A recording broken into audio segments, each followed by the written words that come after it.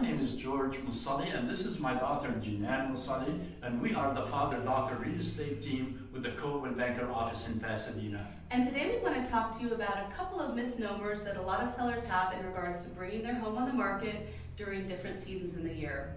The first misnomer is that you shouldn't bring your home on the market during the holiday season.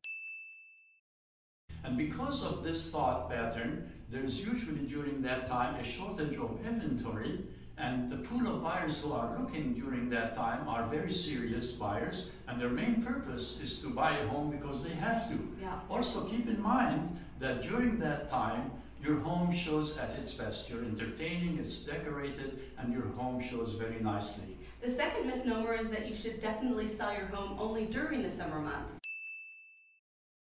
And while this can be a great time to sell, there tends to be a lot of inventory that comes on the market during the summer months. And also keep in mind that a lot of families are going on vacation in June, July, and August. So there's a lot of people that are physically gone during the summer months. So this could affect the value during that time Exactly. ever so slightly.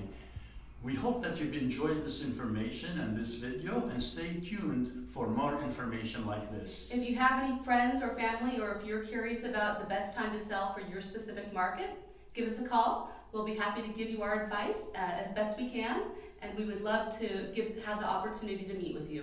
Thank you very much and have a great day.